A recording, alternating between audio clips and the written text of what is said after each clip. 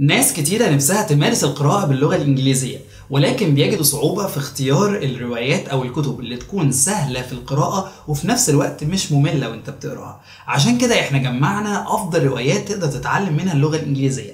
الروايات دي إحنا اخترناها كأفضل روايات بناء على سهولتها في القراءة بتاعتها وفي نفس الوقت بناء على إن هي مشوقة أو بتستمتع بيها وأنت بتقراها.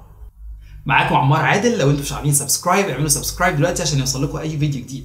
ويلا بينا نبدأ.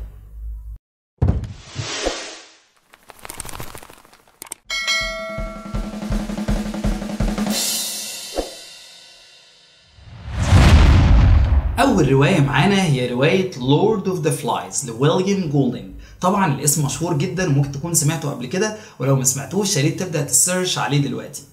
Lord of the Flies هي رواية بتدور أحداثها على جزيرة، بعض الشباب وقعوا على جزيرة وحاولوا إن هم يبنوا مجتمع خاص بيهم، ولكن للأسف المجتمع ده انهار بسبب بعض السلوكيات الخاطئة اللي اتبعوها. الرواية بتستخدم لغة درامية جميلة جدا وهتشدك جدا إنك تكملها وتكمل القراءة بتاعتها. ده غير طبعا العديد من الكلمات والمصطلحات اللي هتقدر تطلع بيها من الرواية دي. تاني رواية معانا هي الرواية المشهورة جدا Animal Farm لجورج أورويل. وهي رواية ليها طابع سياسي ولكن في نفس الوقت رواية مشوقة جدا وهتشدك إنك تكمل القراءة بتاعتها بسبب الرموز التعبيرية والتهكمية الكتيرة المستخدمة فيها. بصراحة جورج أورويل أبدع في استخدام الرموز فيها بطريقة هتخليك تحس فعلا الموضوع تهكمي أو ساخر وفي نفس الوقت الموضوع فيه انعكاس على الحقيقة أو الواقع. تالت رواية معانا هي رواية The Old Man and the Sea لإرنست هيمنجواي الرواية دي ممكن نكون أغلبنا خدناها في المدرسة ولكن صراحة هي تستحق إن هي تكون من بين أفضل الروايات اللي ممكن تقراها عشان تتعلم اللغة الإنجليزية. الرواية بتعلمك الصبر وإن إزاي الواحد المفروض إن هو يصبر ويبقى عنده إرادة عشان يحقق اللي هو عايزه. رابع رواية معانا هي رواية The Giver للويس لاوري الرواية دي بتدور عن أحداث مجتمع في المستقبل بيحاول إن هو يكون مجتمع مثالي. ولكن بسبب إن هما بيحاولوا ينزعوا بعض المشاعر زي الحب والغضب المجتمع ده بيبدأ يتحول لمجتمع بائس. الرواية بتستخدم العديد من الرموز زي مثلا الكالرز أو الألوان عشان تدخلك جوه أحداث القصة. بصراحة رواية رائعة جدا. بعد كده معانا رواية رائعة هي رواية Pride and Prejudice. الرواية بتدور أحداثها في أوائل القرن ال19 في ريف إنجلترا وبتحكي عن أهمية الزواج من أجل الحب مش من أجل المال ولا المكانة الاجتماعية.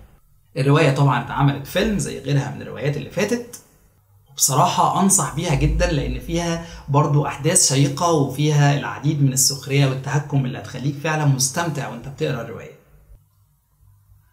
بعد كده معانا رواية Charlotte's Web. لإي بي وايت الرواية دي من الروايات اللي درسها ال native speakers أو الإنجليز والأمريكان في المدارس بتاعتهم وبالتالي بتلاقيهم دايما في كلامهم بيستشهدوا ببعض أجزاء من الرواية دي. الرواية بتدور أحداثها عن خنزير صغير كانت حالته صعبة أو بائسة ولكن في فتاة تبنته لحد ما كبر وبعد كده كان لازم يروح مزرعة ويبعد عنها. آخر رواية هنتكلم عليها هي رواية The Outsiders لإس إي هانتون رغم إن الرواية دي عليها بعض الملاحظات الثقافية إلا إن صراحة اللغة بتاعتها وسهولة قراءتها خلتني أحطها مع أفضل الروايات اللي ممكن نقراها عشان نتعلم اللغة. الرواية بتناقش بعض القضايا الجديدة اللي بتخص الناس وخاصة المراهقين. بس يا ريت دايما وإحنا بنقرأ أي رواية بغض النظر عن اختلاف الثقافات نركز إن إحنا بنقرأ هنا عشان نتعلم اللغة. وبالتالي وإحنا بنقرأ لازم نبدأ نطلع الكلمات الجديدة والمصطلحات الجديدة ونبدأ نستخدمها ونحطها في أمثلة. بكده نكون انتهينا من أفضل الروايات اللي برشحها لكم عشان تتعلموا اللغة الإنجليزية. تاني هي دي الأسماء بتاعتها تقدروا إن أنتوا تدوروا عليهم سواء تحملوهم PDF أو حتى تشتروهم من أي مكتبة قريبة منكم. طبعا لو أنتوا مش عاملين subscribe اعملوا subscribe عشان يوصل لكم أي فيديو جديد. وكمان ادعموني ب like و share. أشوفكم على خير. bye bye